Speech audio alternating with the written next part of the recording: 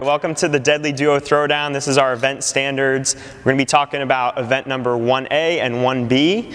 In 1A, you're going to be doing seven minutes to find a one rep max clean and jerk. Both partners will be finding a one rep max. Then we're going to go immediately into part B, no time in between, and part B is going to be a three minute AMRAP of ground to overhead. Okay, so three, two, one, go. Part A, the two teammates can go ahead and load up their barbell with the weights they want to do, okay? They should come in warmed up, ready to go, ready to hit a good weight. Okay, clips are going to be mandatory for the weight to count. So once the clips are on the bar, they can go into their first attempt.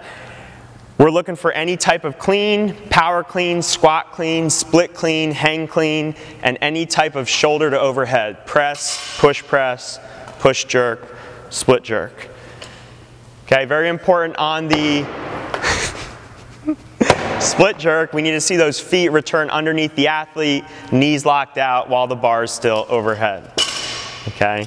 Once they have a successful attempt, they can keep going to add to that weight, but their final score is going to be each person's best attempt or best successful attempt combined. So once you go ahead and establish that clean and jerk max, it's going to benefit you to go ahead and get ready for that three minute AMRAP. There's no time in between, so we want to get the bar set up. For the men's RX, we're going to be putting 135 pounds on the bar. For the women's RX, it's going to be 95 pounds. Men's scaled is going to be 95 pounds, and the women's scaled is going to be 65 pounds.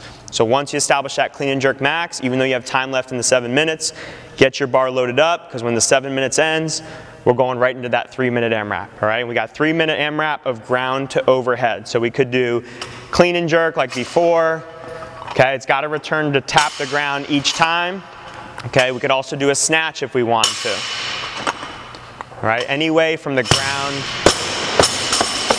to the overhead position. One person will work and one person will rest. Okay, and the goal is to get as many reps in three minutes as you can.